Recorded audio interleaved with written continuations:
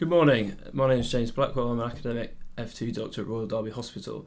This morning I've got with me Mr. Jon Lund, consultant colorectal surgeon, and today we're going to discuss the abdominal examination. Morning, Jon. Oh, morning, James. Um, thanks very much. Well, uh, first thing you see me doing here is washing my hands, and of course that's extremely important, um, both for patient safety, stopping spread of infection, and uh, also when you're in an OSCE exam, it's very important that the examiner sees you wash your hands before and afterwards. Mm. Uh, it's a very important uh, skill to demonstrate. Okay.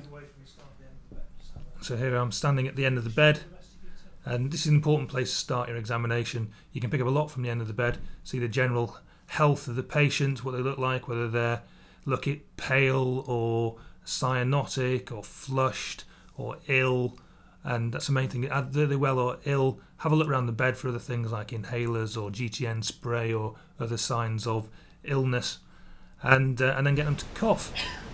And coughing will show any hernia that you might have. Right, you just let me have your hands, please, on the other one.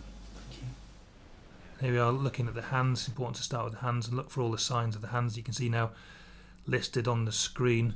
Uh, check for Dupuytren's contracture and then look over the hands there. And now we're looking for clubbing, and clubbing is associated with various uh, GI conditions that again we've listed on the screen. And now this is looking for a liver flap, which isn't there very often. I've seen it a few times. The patient might be pretty jaundiced as well.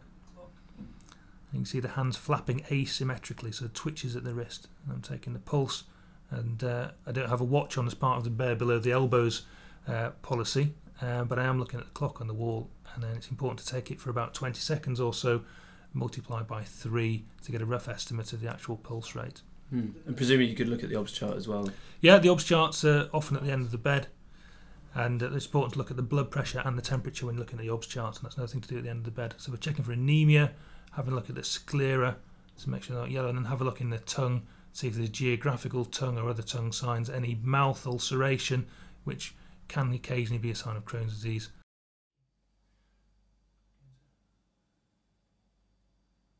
And now feeling for lymph nodes. Now the important one is in the left supraclavicular fossa, which is called Virchow's node, the top of the um, chain coming up from the abdomen as it drains uh, into the thoracic duct.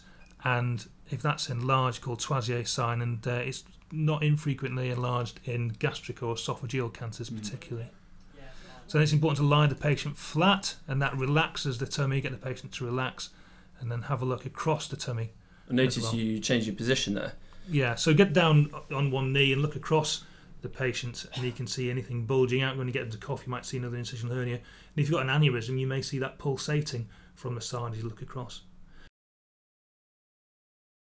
And then here, just just gentle. Ask the patient if it hurts. If it does, if it do indicates I'm going to start away from the pain, then just gentle uh, palpation, and just. And when you're doing this, it's really important to look at the patient's face Hmm. uh, not at your hand but at your face and just to see if there's any sign so if they if they have peritoneal irritation at this point they're going to wince a little bit as you get close to the pain you don't want to you don't want to hurt the patient but you want to elicit where it's tender and that'll help you with the diagnosis Okay. you probably want a bit more exposed here but we've saved our model's modesty So you've gone around once gent- uh, gently, yeah and now you're pressing slightly deeper. that's right. So now now you know there's there's nowhere where there's peritonism and you're not going to hurt the patient then it's important now to feel deep and you see I'm doing that with a with the flat of my hand and seeing just how quite deeply we're getting. Go around all the abdomen like this and then we're feeling for uh, an abdominal aortic aneurysm. So the aorta divides at the umbilicus so it's important to feel like that. Above the umbilicus and you feel the expansile pressure pushing your hands apart if one's present right so what we're going to do now is just to do some things where I'd just like you to take some deep breaths for me when I ask you to Okay. So now what I'm doing is um, we're palpating for the liver. And so you see my hands across the abdomen and the model's taking a deep breath in. And as he takes a deep breath in, I'm pushing up with the side of my index finger. What you can feel if there's an enlarged liver is the liver coming down past your finger and brushing your finger as it goes. So the diaphragm pushes the liver downwards and the hand pushes upwards. And you can feel one move against the other. And I'm doing the same now for the spleen. It's important to start at the right iliac fossa for both liver and spleen. The spleen goes from the left upper quadrant to the right iliac fossa.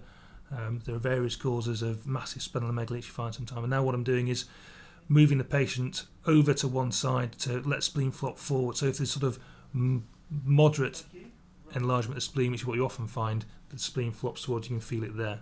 Okay. And now feeling for the kidneys, ballotting for the kidneys. So put my hand behind in the renal angle, pull forwards and press forwards with my hand, get the patient to take a breath in, which again pushes the kidneys down a little bit and press forwards. And if you've got large kidneys, you'll be able to feel them there, particularly in something like polycystic kidneys would be way to feel that. And now I'm percussing the abdomen, and this is the technique here. So just take a time to go through it. So you get your um, middle finger and then tap on the over the middle phalanx of the middle finger. And it's it's the sound, so you kind of feel hollow or not hollow, but also the feel as well. So if you practice on yourself, if you if you percuss on your own tummy, you can feel how it should feel, and then perhaps percuss on the on the desk or on your head and and feel the difference as well. So we're pressing percussing for the liver now. There's the uh, costal margin, and as I go up above the costal margin, the liver's behind it. I can feel and hear the change in the underlying structure from hollow to hard, and then at the top I can percuss where the lungs come back in at the top of the liver. It's about the level of the nipples.